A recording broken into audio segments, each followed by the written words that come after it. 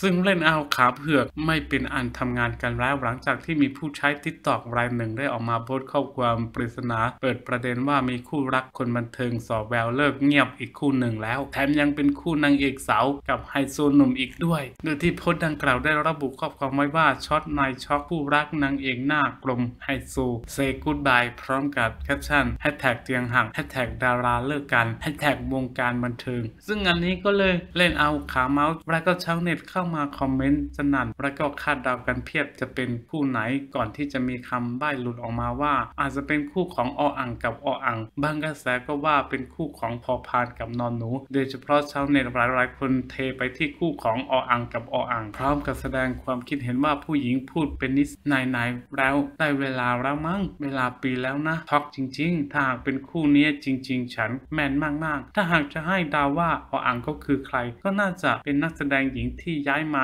ทางช่องสามเมื่อไม่นานมานี้ แผนเก่าของแผนนางก็เป็นตัวท็อปช่องหลายสีชื่อเล่นว่าออ่างเหมือนกัน